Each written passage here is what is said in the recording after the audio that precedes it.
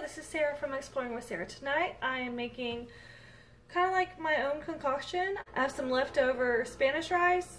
I have some chicken that I cut up. I had a whole chicken and I put it um, in eight pieces.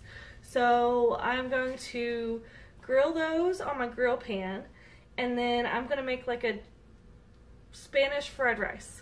That's the plan. Okay, you see my grill pan. I'm going to turn it on. It is new. Came across this awesome grill pan that I've always wanted.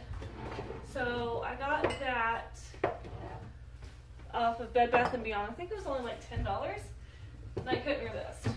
Of course I was on the site today and I would prefer to have like a red one or something, but this will work just fine.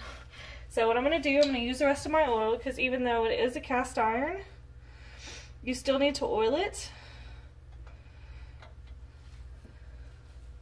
I have um, marinated my chicken breast. I put a little Worcestershire, a little garlic, and, well, a lot of garlic you can see, and a little lemon juice. So I'm going to do both of them, but I think we're going to only use one. Okay, and in this back pan right here, I'm going to go ahead and start some carrots and a quarter of a pepper. That, this is where I'm going to make the rice. So this is where I'm going to put my, my meat. Oh yeah, it's coming up to a boil. Not to a boil, but you know what I mean. it's coming up to temperature. Go ahead and put these guys in here.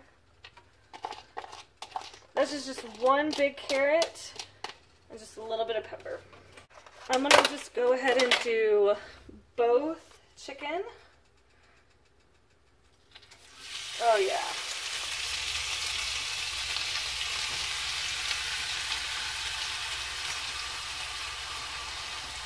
And then I'm going to turn it down to four. So I want it to get seared and gorgeous. This is the first time I've ever owned a grill pan. I've wanted one for a while. I um, When I worked at Ross Dress for Less for the longest time, I would see like the Rachael Ray ones come in all the time. And I was like, Sara, get one. Get one, get one. But I never did because uh, what do I buy at Ross? When I worked there. Lots of clothes that I don't need. so that's what I ended up buying. But it just worked out. And also we want to be um, nomadic and have a have a um, RV. So the cast iron stuff that I'm getting now is going to last us forever. I mean, it's cast iron but we can use it over a fire and stuff like that. That's mainly what I'm looking at as I'm updating some of my cookware. I have a tendency to kill my cookware. Unfortunately. I'm going to let that work until it's done. This part looks white right here, but I'm just going to let it cook. I'm going to let this cook.